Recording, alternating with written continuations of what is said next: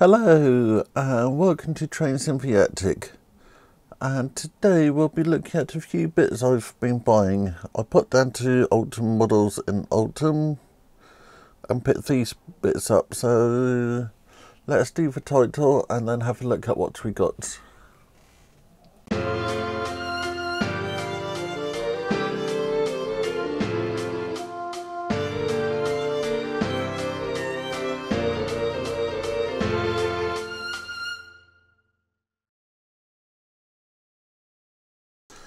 The first thing I got is this pack of uh, uh, friction bus buffer stop with a coupling pocket. Accurascale is a new uh, company into railway and they're bringing out some very interesting things. They got three different versions of uh, buffers. These, uh, then there's another two set which doesn't have a coupling pocket and then they got a single set which have lights. They also bring out some quite interesting coaches and stuff. This was one of the reasons I went down to um, Alton Models today. The other reason I went to Alton Models was uh, I wanted to thank him for the help he gave with uh, um, for fundraising, so I gave him the last mug. I hope everybody have received their stuff. Um, if you haven't, if you want to send me an email about Wednesday, I'll chase everything up and just check that what's going on. So, I gave Paul at Alton Models the um, last mug because he helped so much with the um, with uh, fundraising. And I picked up some bits from him. So these are the Accurascale uh, buffers. Nice packaging. So in the pack you get two buffer stops, uh, two lots of 16 uh, friction shoes, and a friction shoe spacing tool. Then there is a lot of writing, which I haven't read. That's the only downside I have had so far, is the writing could have been a bit larger. Uh, so I think I'll open this pack. So let's open the pack.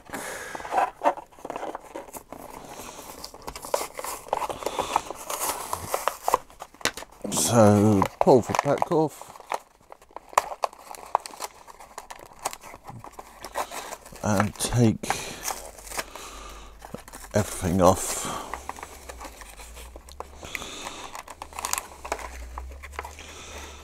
So we got a bag of friction shoes. Come on camera. It's want you to focus on that.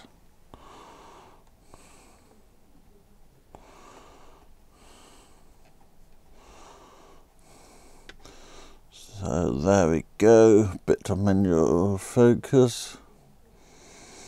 And you can see all of those.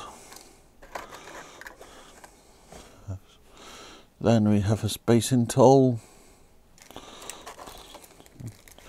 And then we've got two of these um, buffer stops.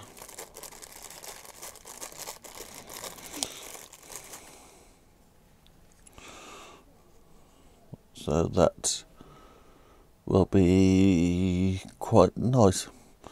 So I'll grab a piece of track and then we can have a quick play with it. So I just have a piece of uh, Flatsy track This is code 100.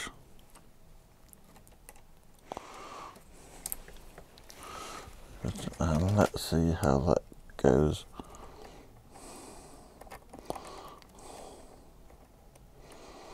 On. Okay, let me... I'll come back in a second once I've got this on the track. It took a little bit of fiddling, but this now fixed on the track. It's actually pretty nice. You got some nice detailing on it. And then you replace these um, these things in front of it. So they would go along here, so you would use your placing tool, put it on the track, and then place these at the appropriate points. So that's the first thing we're looking at. My plan for these is to put them in the station whereabouts um, I normally have some trains stabled as I'm I've never been happy with her Peco buffers so I thought these would do quite a nice job as a change and they were also very reasonably priced. This is the other thing I've bought. It's a set of several different uh, lubricating oils. It's uh, made by Woodland Scenic and it's a Hop-E-Lube um, so this have all the oils and greases you need to maintain everything. So I've been pretty bad at uh, lubricating my locos. So in this pack you have seven different oils and lubrications. Some of them come with little tubes to make lubricating easier. And each each tube have a different use. So you've got gear lubricating oil you've got dry white lube you've got uh, white grease you've got uh, seven different things. You then have this lovely sheet which tell you how to use for um, nozzles and then you've got this thing saying hints for work with lubrications which you can't see easily there so if I lift this up